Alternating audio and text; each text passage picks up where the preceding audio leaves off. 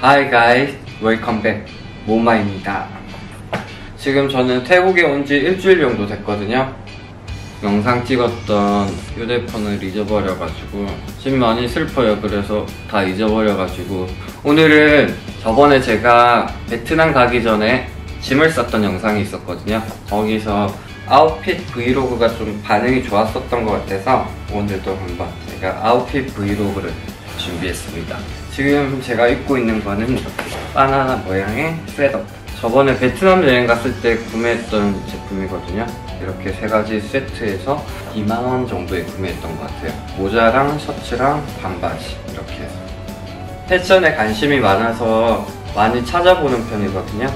MSGM이라는 브랜드의 2019년 SS 컬렉션에서 보면 이런 가감한 프린트의 setup이 되게 많이 나오더라고요.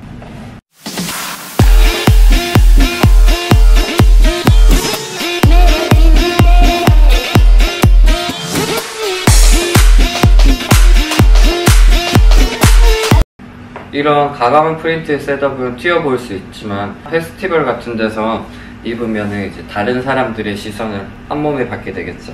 스타일링 하는 게 좀 어렵거나 코디하는 거를 잘 못한다고 싶으면은 setup으로 이렇게 구매하는 것도 되게 좋은 팁이에요.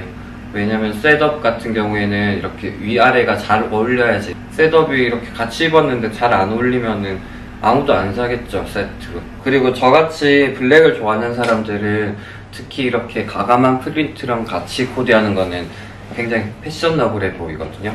그래서 오늘은 아웃핏 브이로그를 준비했습니다. 짠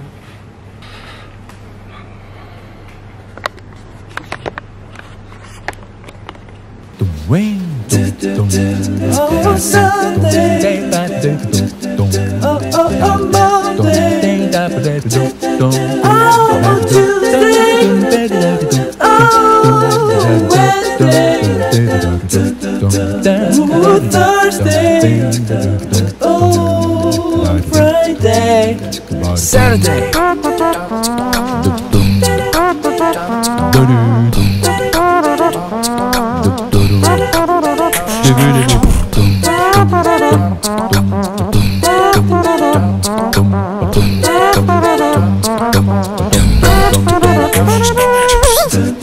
Dance, dance, dance.